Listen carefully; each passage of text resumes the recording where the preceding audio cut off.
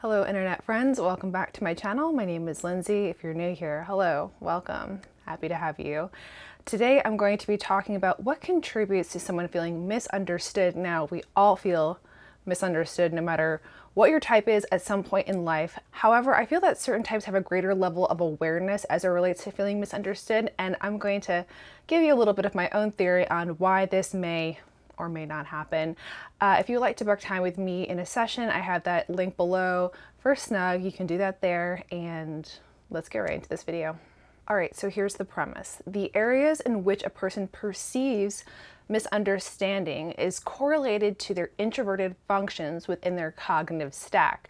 Now, the amount of awareness that is attributed to this misunderstanding is often a result of the intuitive function placement within that same stack. You have two of those functions in your stack, so give it a little Google if you don't know already and figure out which introverted functions you have in your stack of four.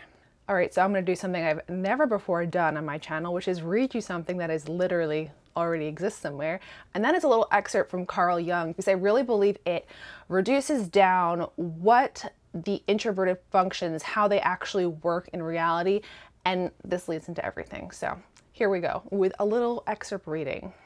The introvert unquestionably exposes himself to this prejudice, for it cannot be denied that his definite and highly generalized mode of expression, which apparently excludes every other view from the outset, lends a certain countenance to this extroverted opinion. Furthermore, the very decisiveness and inflexibility of the subjective judgment, which is super-oriented to all the other objective data, is alone sufficient to create the impression of a strong egocentricity. The introvert usually lacks the right argument in presence of this prejudice, for he is just as unaware of the unconscious, though thoroughly sound presuppositions of his subjective judgment as he is of his subjective perception in harmony with the style of the times, he looks without instead of behind his own consciousness for the answer. I just like how he burns the introverted functions and it's just like, and apparently just excludes every other viewpoint from the outset. And uh, all of us with the introverted functions are just like, well, hot damn. All right. The introverted functions are coming from a subjective place within the self. Now, that doesn't mean that they can't be objectively true.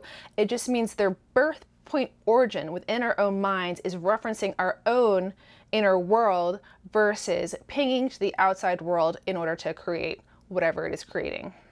And in order to help you understand a bit more of an articulated picture of what this means, I'm going to give you a few little anecdotes I created of how these functions may be subjective as it relates to external stimuli. SI, introverted sensing. Why don't people realize this is the right way to organize and align reality? TI, introverted thinking. Why don't people see this is what makes the most sense? FI, why don't people see how hurtful they're being towards me? NI, why don't people see that all of this is related?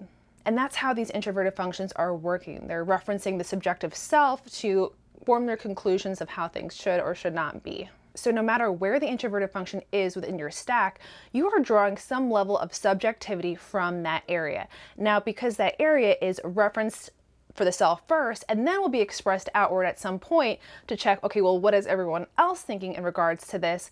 It is likely that when people's viewpoints in some area differ from yours in the world of your introverted functions, that you are going to perceive some level of misunderstanding because the way that they work within reality, within the external world, is different from how you form these conclusions within your internal world.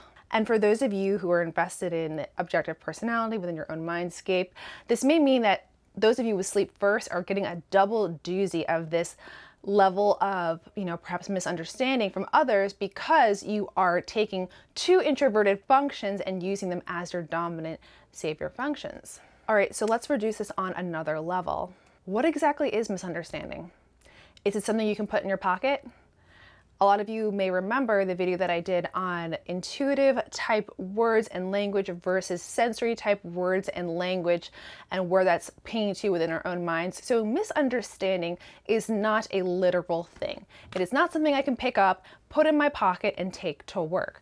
Misunderstanding or understanding in general, it's a concept. So by its very nature, it is something that exists more on the intuitive spectrum than the literal sensory spectrum. So, what does that mean, right? So, what I see this as is people who have an intuitive function as a savior, um, either NE or NI, they are more comfortable with this concept and they are paying to it more likely than someone who has sensory as a dominant function. So does this mean if you have sensory as a savior, you never feel misunderstood? No, not at all. I mean, you could feel very misunderstood as it's relating to your TI or FI if those are saviors within your stack. But if you had an intuitive function, either NE or NI, it is my kind of perception that you would have a greater degree of feeling comfort and your brain would be more likely to ping to the idea of misunderstanding or understanding because it is simply not a sensory type topic and it is not something that you are relating to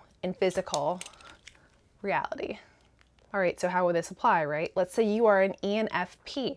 You should feel some level of misunderstanding as it relates to your FI function, the things that you personally believe and value. If you're an INTP, you should have some level of misunderstanding as it relates to your personal reasons, the why you believe things, and all those other people over there, they believe something else. Well, screw them. Like they don't understand, you know, how I'm seeing this, right, through your own subjective reasons. All right, and reducing it a third level, understanding. In general, who is it most important to? Now, right, understanding is important to everyone, right? But what function is prioritizing in an unconscious state understanding more than anything else? That is that is the thing right? It's not just intuition right? It's not just like i'm comfortable using this concept. It's like this is the most important thing. And i would say that that is introverted intuition ni the dominant function of intjs and infjs now i myself until i discovered typology felt essentially misunderstood, you know, my entire life. I just thought that that's how brains worked. Like, I realized young that people didn't perceive things and they didn't come to things the same way that my brain did, and that when I would try to explain things, that people just did not get it. They just didn't understand how I was connecting things within my own life. And at a young age, I was like, I just people don't understand, and that's okay. You know, I'll never, I'll never feel understood, and that's just how life is. And I went through my entire life feeling that way until I discovered typology. And it's really nice to see people who come to my channel who are also INTJs, um, you know, some INFJs as well, who will say things like, I never felt as though I was understood by anyone until I saw your videos, until I, you know, heard your content. And I know exactly what that, that feels like on the inside within your inner world. And knowing that there's someone else out there like you is I think it means a lot to people. So it meant a lot to me. Anyway, NI and understanding, it is just it's just what the NI brain is constantly trying to do because what is actually understanding, right? Understanding is taking all of these dots that exist and it's pulling them into one centralized concept, right? If you understand how leverage works, you could use that concept to then apply to instances of having to lift things of different weights in order to transport things by using weight and leverage. And so you could use that concept to then, you know, apply to a different situation, but it's the same thing. It is the same principles that are pulled together and you can layer over whatever the circumstance needs. NI is trying to constantly use understanding so that we don't have to take in new sensory details in order to do a thing. We're trying to avoid the SE, so we rather just use the NI understanding to get the thing done. So that just means that we're not trying to do this. We're not trying for our brains to be so aware of what understanding is. That's just how our brain processes information in its very innate natural state. And therefore, I think our level of awareness to understanding and misunderstanding is high compared to possibly other types. If everything is about understanding to you and you're connecting the dots and you're seeing that the world is not understanding you as an entity, as a human being, then you're going to be just very simply innately aware of that.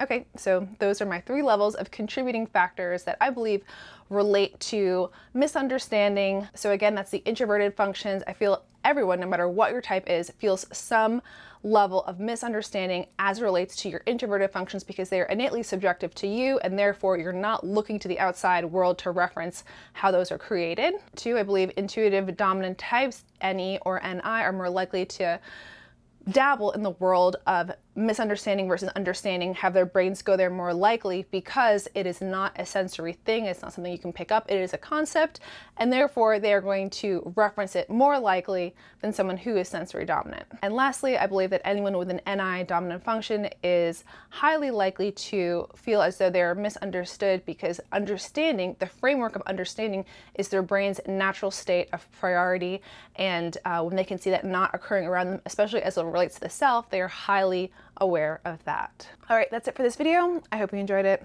I will see you in my next one. Till then, goodbye, internet friends.